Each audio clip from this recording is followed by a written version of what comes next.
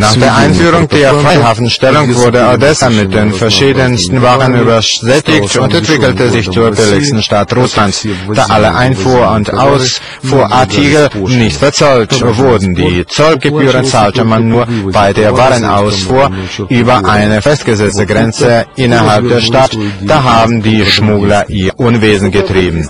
Um einen tiefen Graben und den Zöllnern zu entgehen, gruben sie die Katakomben aus, die zum Meer führten. Ganz Odessa steht auf solchen Katakomben.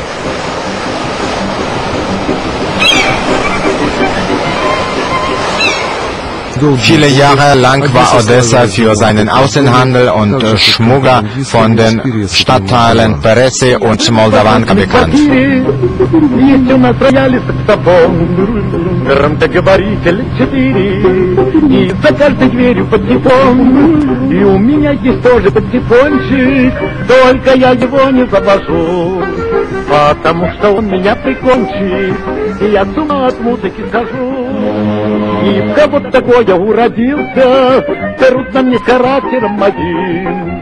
Чуть я только в девушку влюбился, смотришь, а она уже с другим. Кошмар. Einst war Tschernomorsk wirklich eine Freistaat und es war so lustig und gewinnbringend, dass die Legende über die Freihafenstellung bis jetzt einen goldenen Glanz auf die helle Ecke am Café Florida warf. Ilf und Petrov. An der Grenze zum Territorium mit der Freihafenstellung entstand ein kleiner, unorganisierter Markt, auf dem man mit den landwirtschaftlichen Lebensmitteln unmittelbar von den Vorwerken aus handelte. Dieser Markt entstand als Gegengewicht zum städtischen Alten Bazar. Bald danach enthielt der Markt einen legalen Status und in unseren Tagen heißt er Privos.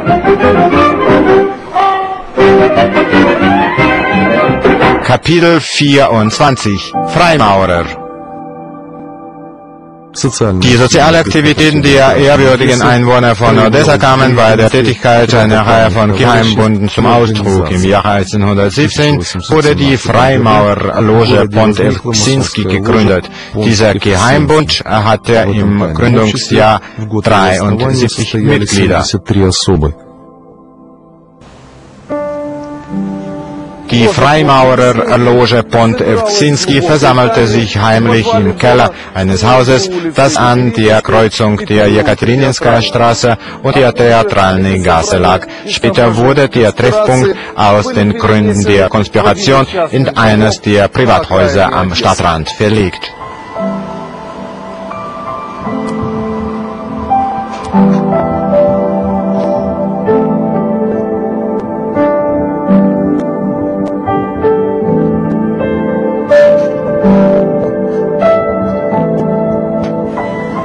Großmeister der Loge war der Graf Langeron. Zu den Freimaurer gehörten auch zwei seiner Vorgänger, der Rebas und Richelieu. Man munkelt, dass die blitzschnelle Entwicklung von jungen Odessa der heimlichen Unterstützung der Machthaber zu verdanken ist. Und historische Auskunft.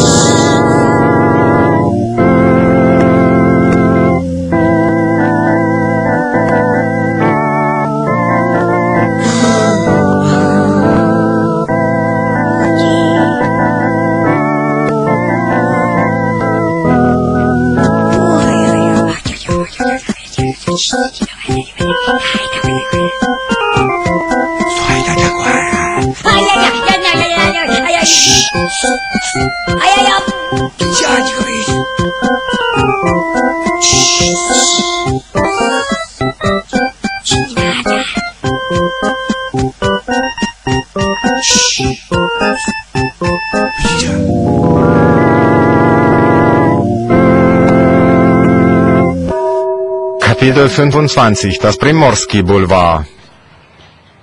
Im Jahre 1818 verwirklichte Langeron noch ein Vorhaben seines Vorgängers. Nach Odessa kam der Gärtner Karl Timet, der den Botanischen Garten anlegen ließ.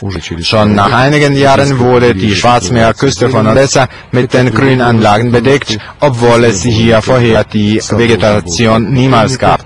Der Garten musste zur Pflanzenschule werden, mit deren Hilfe Langeron die Grundflächen in der ganzen Stadt anzupflanzen vorhatte. Dieser Garten wurde später so berühmt, dass ein Pflanzgut auf die Krim, nach Halupka und sogar ins Ausland geliefert wurde. Der Botanische Garten nahm die Fläche von mehr als 200 Hektar entlang des Meeres auf der Route des heutigen französischen Boulevards ein. Mit der Zeit verringerte sich das Gelände des Gartens wegen der Landzuweisungen für die Deutschen der Aristokratie.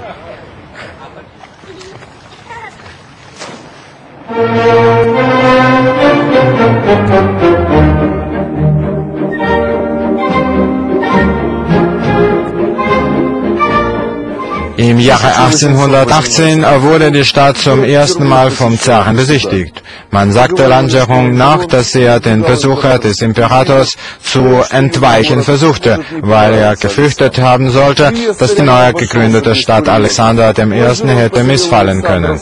Der Besuch des Zaren verlief nicht ohne Kuriose. Langeron brachte Alexander in seinem Palast unter und eines Tages sperrte er den Imperator in seinem Zimmer aus Zerstreutheit ein, als er spazieren ging. Dieser Zwischenfall beeinflusste aber die Einstellung des Monarchen zur Stadt und zu Langeron keinesfalls negativ. Der Zar wurde von Odessa bezaubert und schenkte der Stadt 40.000 Rubel. Nach einem Jahr bestätigte Alexander I. den vom Architekten Charles angefertigten Generalplan der Stadt. Auf der Böschung seitens des Meeres wurde bald der Primorski Boulevard angelegt. Freilich hieß es damals nicht das Primorski Boulevard, sondern das Nikolaevski Boulevard und stellte drei Alleen dar, die vom Schotten bedeckt waren und vom goldenen Sand von Luxor bestreut wurden. Der Boden auf dem Boulevard wurde kostenlos gegen Verpflichtung zugeteilt, die zugewiesenen Grundstücke zu bebauen.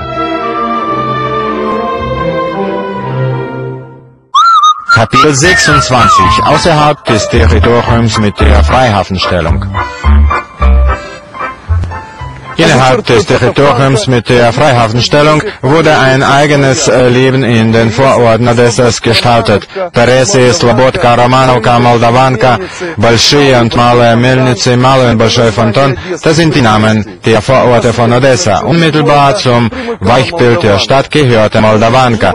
Die ehrwürdigen Bürger Odessas, die zufällig nach Moldavanka hingeraten sind, fingen viel später an, sich Sorgen zu machen, dass ihre Geldbeutel geleert werden können. In diesen Jahren wurde der originelle architektonische Stil des berühmten Stadtteiles herausgebildet.